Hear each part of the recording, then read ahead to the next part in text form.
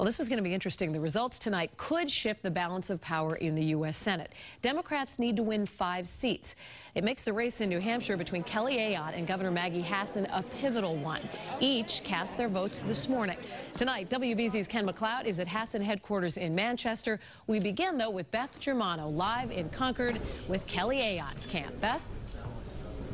Well, this has certainly been one of the most closely watched and most expensive Senate races in the country. As you say, Democrats are looking at four or five seats in the Senate in order to regain control of the chamber. Republican Senator Kelly Ayotte has been very popular here in New Hampshire, but she's also facing a popular governor in Maggie Hassan, which has made this race so tight. And Ayotte has been struggling with how to handle Donald Trump in her campaign.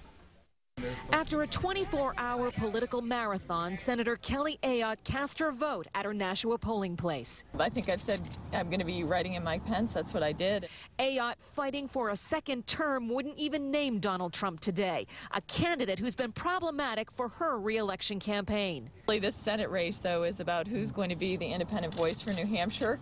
And uh, this race is one where I've been going out earning the support of the people of New Hampshire. How Trump will affect this down ballot race against Governor Maggie Hassan is the question. Ayotte has tried to distance herself from the Republican nominee and his controversial remarks about women, but some of her supporters worry it won't be enough.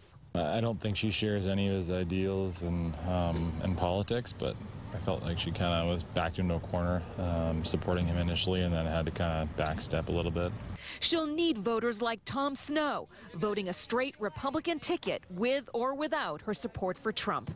I own a small business, and uh, it's very important to me. Now, Kelly Ayotte made 30 stops in the last 24 hours as this campaign winds down, trying to push her independent voice. Donald Trump may be pushing a message of change, but Kelly Ayotte hopes New Hampshire voters send her back for another term. Reporting live from Concord, New Hampshire, I'm Beth Germano, WBZ News.